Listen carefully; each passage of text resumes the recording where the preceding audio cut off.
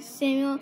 Today, I am working on right now. I came back from school. I'm working on right now, making Lefty plush. I am working on it, and I want to give a shout out with um. I want to give a shout out to CandyCat69. He was the one who got me this idea. I want to show you. I'm not trying.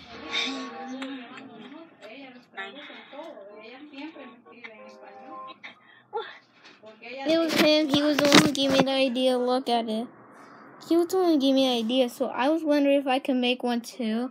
I'm working on it right now. I got some. I already colored. I these are for the bodies, and these are the legs, and this is the bow tie. I haven't done the back for the body and hands and head, so I'm working on the hat, other stuff. So, thank you. so a quick video about the lefty plush. So bye.